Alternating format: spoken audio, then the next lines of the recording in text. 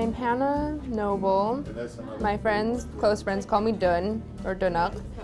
I was born in Anchorage because my mom was high pregnancy risk, but then we quickly went back to where I'm originally from, to, to Tuliak, Alaska.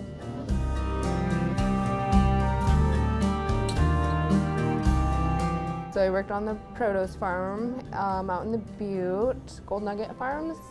And then I worked here at the fair as a gardener for a few years because the season was longer. So it was from like, I did the spring work, so I would be here, because the greenhouse is on the fairgrounds, right? So I was here from like February till November, so that was a lot better.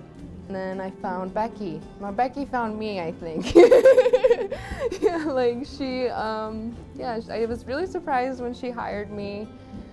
I like came in a ruffled leather jacket with like studded pants and like I did not think I was gonna get a gardening job, but I did and I absolutely fell in love with it and I was here for years. It reminds me of beading the bright colors and the flowers and the intricate designs that Becky creates like for months, a long time. I don't know how much time she spends on it, but it's not easy work. So yeah, just like all of that and like learning it and changing it and combinations. I learned a lot about color combinations from Becky that I use in beadwork now. She always has a story for her topiary, like the uh, mammoth is Birdie, the gardeners name them. They take a flower of their choice and they give it a heart and a name with the, you know, on the inside. And it's just so much more than just flowers.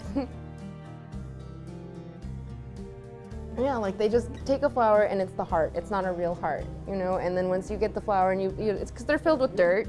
You bury it in there and you think of a name, and it's like very, it's very like like ceremonial. I am very, very respectful of the gardens here because I see how much work, thought, and love goes into them. And we all had to do um, a My Fair memory essay, and I wrote about being from the rural areas and working here and how it helped me become part of the community here because it was so easy in Bethel because my family was there for a long time. And when we uprooted and moved here, I had to root myself. And of all places, it was a garden. um, my favorite garden is the perennial garden.